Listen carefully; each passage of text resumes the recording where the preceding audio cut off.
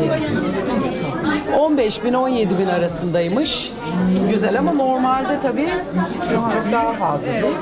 Zuhal Topal altın çadırını gezdi ve mutlu evliliğin sırlarını Star Life'a açıkladı. Aşkı canlı tutmak için çocuk evliliği mutlaka etkiler. Ayrılık kaçınılmaz oluyor.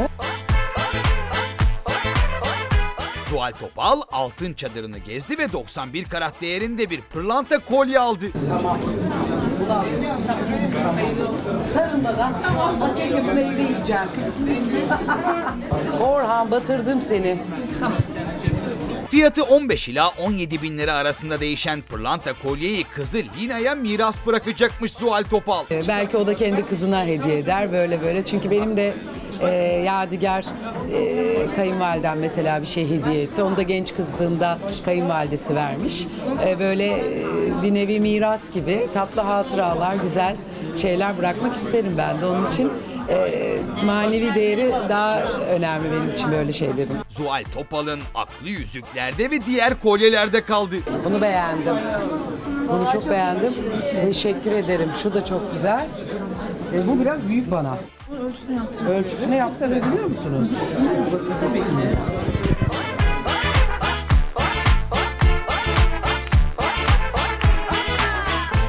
Hafta içi her gün Star'da 16-15'te yuva kurmak isteyenlere kucak açan Zuhal Topal, mutlu evliliğin sırlarını Star Life'a açıkladı. Aşkı canlı tutmak için kendinizi canlı tutmak zorundasınız. Kendinize iyi bakmak zorundasınız. Kendinizi sevmek zorundasınız ki e, bu sevginiz, mutluluğunuz ailenize de yansısın.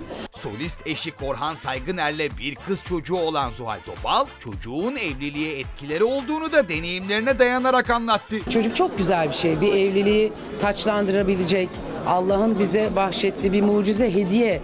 Ee, zor tabii ki kolay değil çocuk yetiştirmek. İster istemez çiftler etkileniyorlar. Ee, evdeki bütün düzen değişiyor. Ama e, buna gene ayak uydurabilecek, uyum sağlayabilecek insanlar anne ve babalar.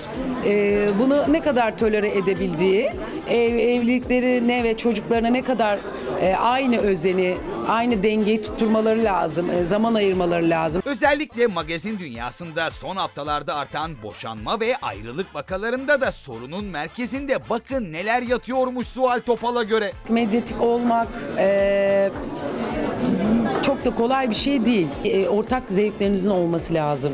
E, birbirinizi fikren ve ruhen beslemeniz lazım. E, bir uyum, e, bir şey, bir denge yakalama, balans çok önemli. Hayatta en önemli şey dengedir. E, birbirinizi tamamlamanız çok önemli. E, ortak değerlerinizin, ortak fikirlerinizin, düşüncelerinizin olması lazım. Eğer e, onlar yoksa, yakalanamamışsa ayrılık kaçınılmaz oluyor.